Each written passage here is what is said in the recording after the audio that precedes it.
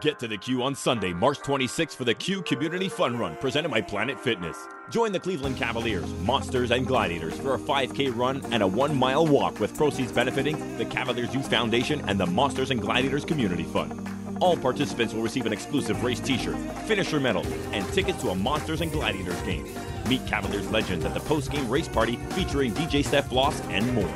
Register today by visiting theqarena.com slash funrun.